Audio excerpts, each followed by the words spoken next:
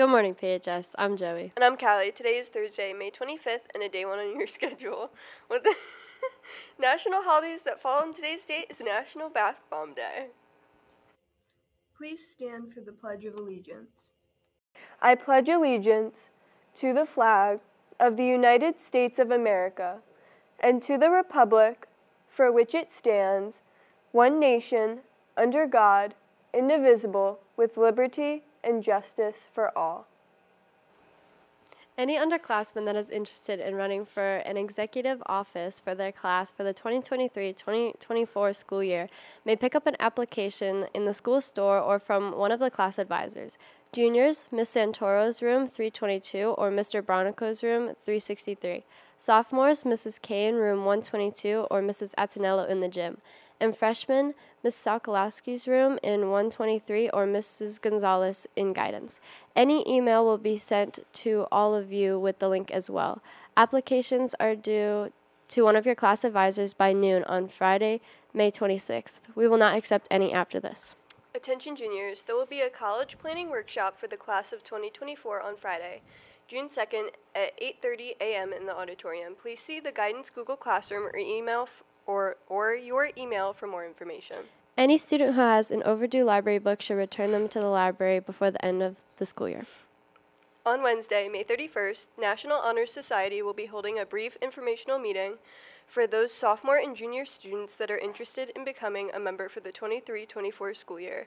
Please sign up in room 226 for an AP pass. Club Unify will be selling lemonade in the cafeteria during all lunch periods. The cost is $1. Let's hand it over to Cole with the weather. Good morning, PHS. I'm Cole. Today's weather will be mostly sunny with a high of 73 and a low of 45. Let's hand it back to the anchors. Today we have Diego with us to share some information about Stateliner sports. Also, make sure you stay tuned after to watch a special clip about forensics review and start the talk.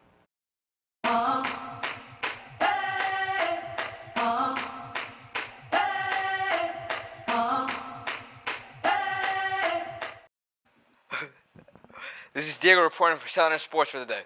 If you are interested in playing girls soccer this this fall, there will be a meeting during AP on May 22nd in room 23.